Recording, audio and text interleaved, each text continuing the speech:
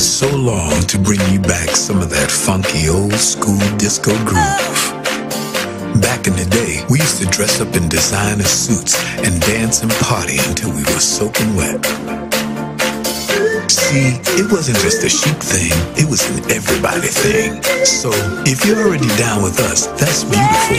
But if you're not, we're here to try and change your mind. Things weren't perfect, but they were pretty great back in the old school.